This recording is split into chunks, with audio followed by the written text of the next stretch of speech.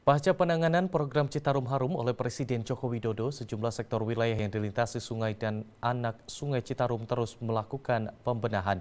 Sektor 22 Kecamatan Cibenying, Kaler, Kota Bandung melakukan pembenahan dimulai dari mengajak seluruh masyarakat agar merubah pola hidup guna menjaga kondisi keasrian aliran anak sungai Citarum. Guna mensukseskan program Citarum Harum yang dicanangkan Presiden Joko Widodo dengan menugaskan Kodam 3 Siliwangi dan pemerintah Provinsi Jawa Barat, sektor 22 Kecamatan Cibenying Kaler, Kota Bandung yang dilintasi Sungai Cidurian terus melakukan pembenahan aliran sungai. Selain pembenahan di sepanjang aliran sungai, sektor 22 Cibenying Kaler melakukan pembenahan kepada pola hidup masyarakat agar menjaga kepedulian terhadap aliran sungai. Pembenahan pola hidup masyarakat menjadi langkah awal pembenahan.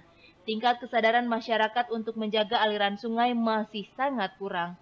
Seperti masih banyaknya masyarakat yang membuang sampah serta limbah rumah tangga ke aliran sungai di mana Bapak Presiden menargetkan tujuh tahun penataan Citarum harus sudah bersih, harus sudah clear, harus sudah bisa berfungsi kembali untuk memberikan kehidupan kepada masyarakat.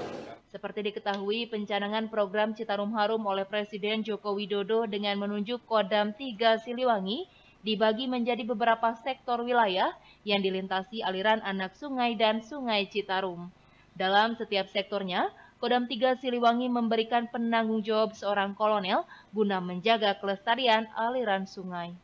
Yuwana Kurniawan, Bandung TV